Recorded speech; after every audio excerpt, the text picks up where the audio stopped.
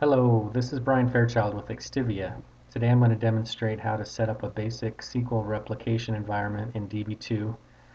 I have a remote Linux system with both my source database and target database running and I'm going to be using my laptop with Windows and DB2 Express. I'm going to use the replication center in DB2 Express to set up, configure replication on my remote system. So I've cataloged my remote system in my DB2 on my laptop.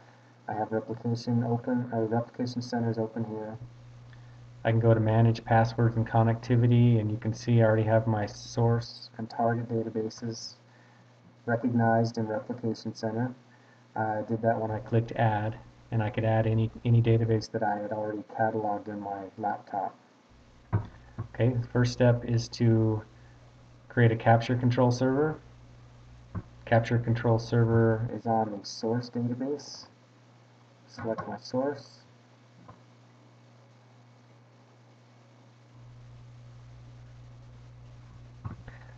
The source is going to host capture only.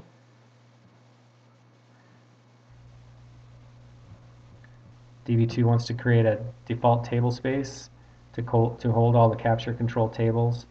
We're going to go with the defaults here. This will generate a script.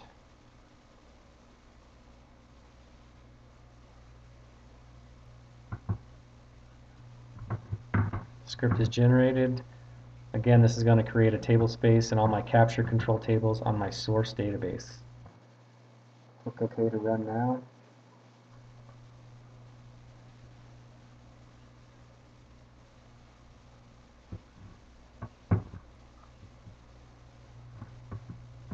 Script successful. Okay. So my capture control server set up, an ASN schema is automatically created. Now I can go to register tables, right click to register a table. We're going to replicate the employee table. Okay, this creates a CD table. CD stands for, stands for change data. This is on the source database again. There's going to be a change data table for each table you want to replicate. By default, it's called CD and then the table name. By default, it wants to create a new table space. We're going to go ahead and use the defaults for that. And it wants to create an index for the CD table. We're going to use all the defaults. We're going to uncheck this, which is for update anywhere replication. We're only doing one-way replication. Script is generated. Again, this is on the source database to create the source or the CD table and the table space it goes in. Okay, now we have the employee table set up for repl replication on the source. We're going to set up an apply control server. This goes on the target.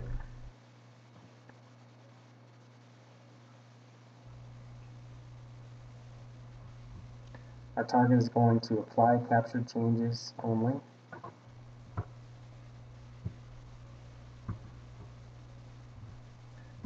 DB2 wants to create a table space for all the apply control tables.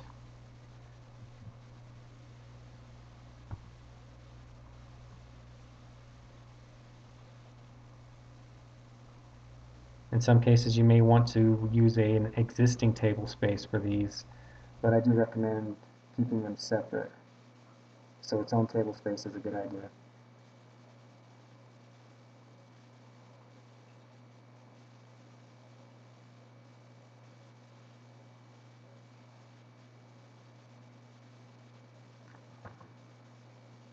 Okay, so now our target is set up. Now we have to do a, uh, create a subscription set. We set this up this is how the uh, target and source talk to one another. You can create multiple subscription sets. One table, we're going to create one subscription set. One qualifier, AQ01. Here's our source. Here's our target. We're going to activate it. Source to target mapping is where I include the tables for the subscription set.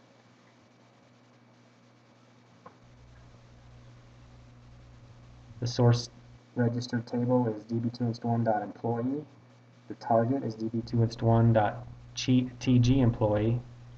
DB2 wants to name it a separate name from the source. It's a good idea, so it put the TG in front of it. If your application uh, isn't going to work with that, you can change the name here and just duplicate the name on the target. We're going to keep it separate. We're going to use time-based replication every one minute for our test. Statements tab lets you set up um, transformation data, or how to transform data from source to target. We don't want to do that. So we're going to generate the scripts that run on both the source and target.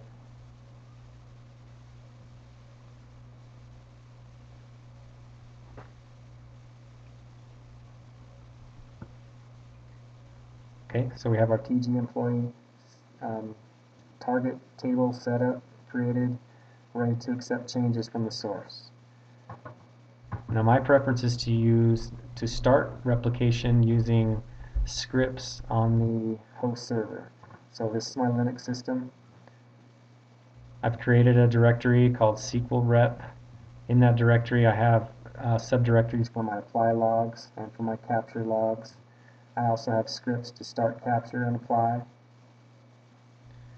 and scripts to stop capture and apply. To me it's easier to have these right on the system that it's running on in case I need to stop DB2 for maintenance, I can first run the script to stop capture, and then I can run a script to start capture, uh, vice versa with apply. Here's what the uh, apply start looks like.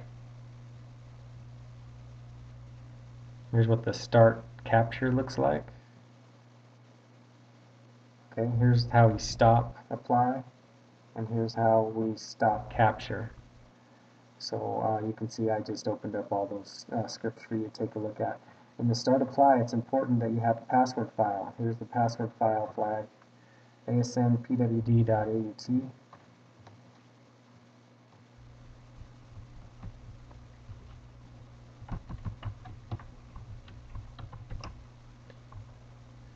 Now this is how apply communicates with capture. It needs to know the ID and password it's supposed to use to connect to the capture database and pull out data from that change, change data table we talked about.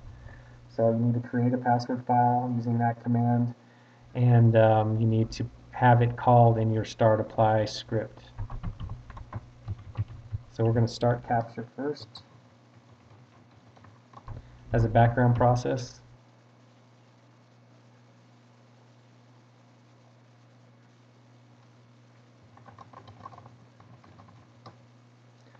So we can see that capture is running. When I do a list applications, I see that ASN cap process is running on my SAMP SRC database. So I can start apply now. Again in the background.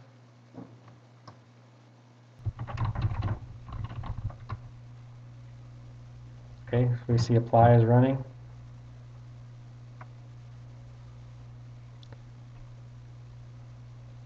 So now we're going to uh, test it out real quick. We're going to select first name, last name, and phone number from our employee table. Let's first connect to the source database.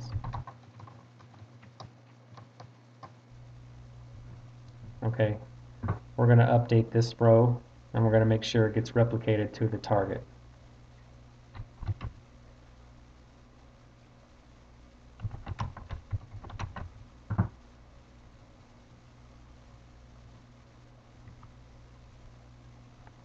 So we updated that row to set Alonzo, Roy Alonzo's phone number to 1111.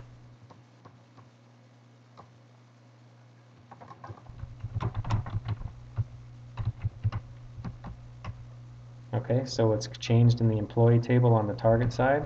Let's see if it's been copied to the change data table on the target side. Yes, it has. You can see here's the row, the only row of data that's been changed.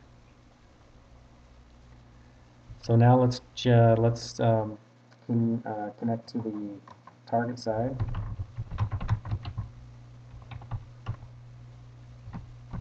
and see if it's been updated in the TG employee table. Not yet.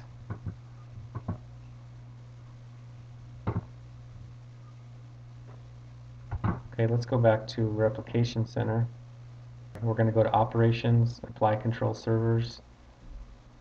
We're going to go to our Apply Qualifier. And now we can check throughput from the time we first started Apply to the current time. You can see that initially uh, Apply ran and picked up 42 rows. That's the initial run.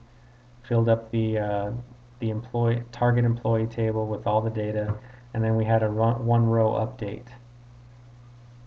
So it picked up that change we made to uh, Roy Alonzo's phone number. Let's double check that.